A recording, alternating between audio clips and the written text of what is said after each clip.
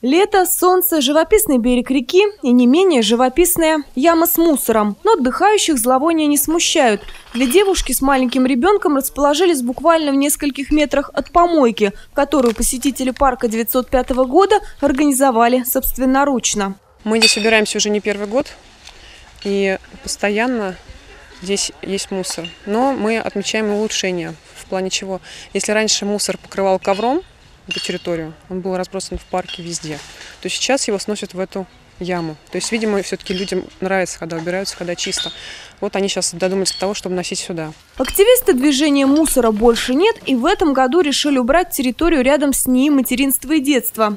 Для того, чтобы стало чисто там, где намусорили, достаточно немного усердия, перчаток и больших пакетов. А для того, чтобы было чисто везде и всегда, нужно еще меньше. Просто не мусорить. Здесь не место для мусора, для него есть специально предусмотренные места.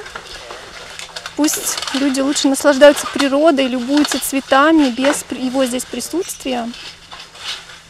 И, возможно, они, им это понравится, и они увидят мир по-другому и тоже захотят сделать что-то полезное или, по крайней мере, не сделать что-то неправильное.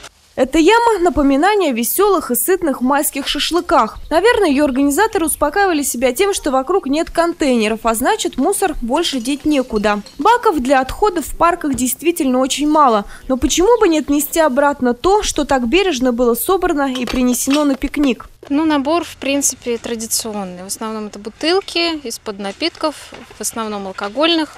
Ну и вся соответствующая атрибутика. Это пластиковая посуда, пластиковые стаканчики.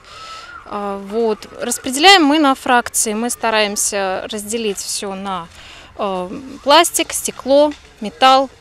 И впоследствии все это отдать на переработку. Это одно из направлений нашей деятельности, именно инициатива а, раздельного сбора субботу в 11 утра ребята продолжат убирать парк 905 года и приглашают к мероприятию всех желающих. Излюбленную зловонную свалку посетители после вмешательства активистов просто не узнают. Яму засыплют землей и превратят бывшую помойку в цветочную клумбу.